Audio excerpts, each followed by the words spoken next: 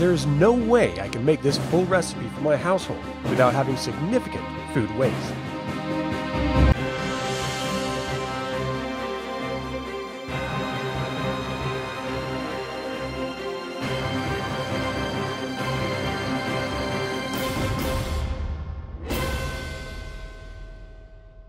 Today I'm making dwarven tide me overs from Tika's cookbook in Leaves from the Inn of the Last Home.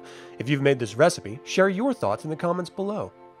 There was no way I was going to make a full batch of this, so my plan was to cut everything in half, and with the price of veal, I decided to cut it out entirely. As the full recipe scrolls by, I will tell you what I used. 1 pound ground beef, 1.15 pounds ground pork, approximately 6 ounces evaporated milk, 1 2 cup oatmeal, 1 and 1 2 cups dried breadcrumbs, 2 eggs, 1 teaspoon onion flakes, 1 2 teaspoon parsley flakes, 1 teaspoon sugar, 1 2 teaspoon paprika, 1 4 teaspoon white pepper, 1 2 teaspoon salt, and 6 ounces of milk. I ended up only using half of that. For the coating, I used 1 cup flour and 1 cup dried breadcrumbs. Lastly, for the gravy, I used approximately 8 ounces of commercial gravy and one 10 ounce can of cream of mushroom soup, one half pint of sour cream, and on or about 3 ounces of sherry. I began by placing the ground beef, which was just a little frozen in the middle, with the ground pork, then adding in the dry ingredients and trying to mix them together with my wooden spoon.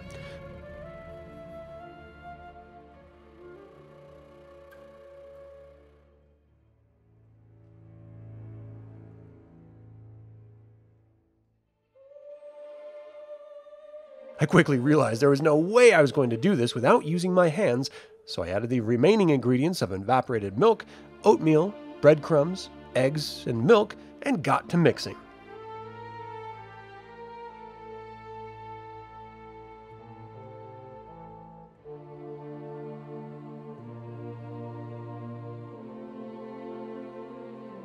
This created a sticky meat mixture, which is exactly what I was looking for.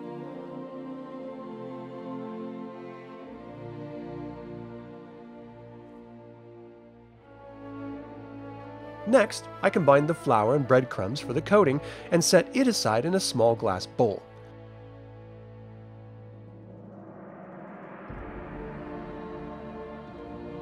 I greased a cooking sheet with some light olive oil and made massive burger sized balls out of the meat. Firstly, I didn't want the walnut sized balls, and that would require a ton of baking on multiple sheets, and I wanted this to be a meal, not just a snack. So, fist sized balls it was. I formed them, then coated them, and arranged them on the sheet.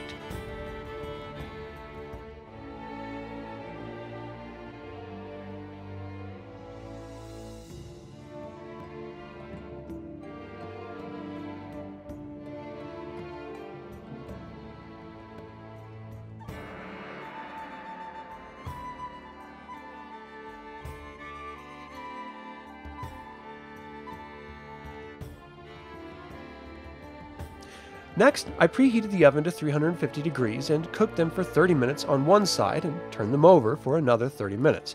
I could have gotten away with a total of 20 minutes, but I don't want to play around with raw pork. It kind of just freaks me out. So I wanted to make sure they were cooked through. Lastly, I made the sauce in a much bigger pan than needed. I added the gravy and cream of mushroom soup and mixed till boiling.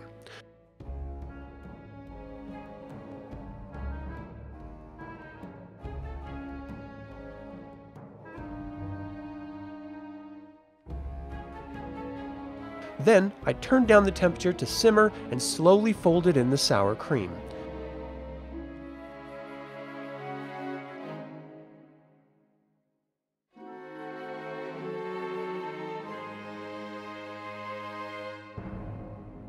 Once fully mixed, I added the sherry and cooked it till it was warm.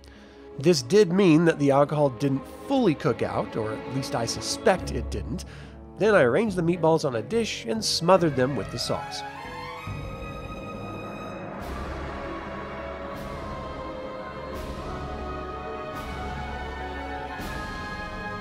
It all tasted a bit bland to me, so I think if I ever make it again, I'll use the full spices rather than halving them. But my wife did go back for seconds, so either she was hungry or she liked it. I was not impressed.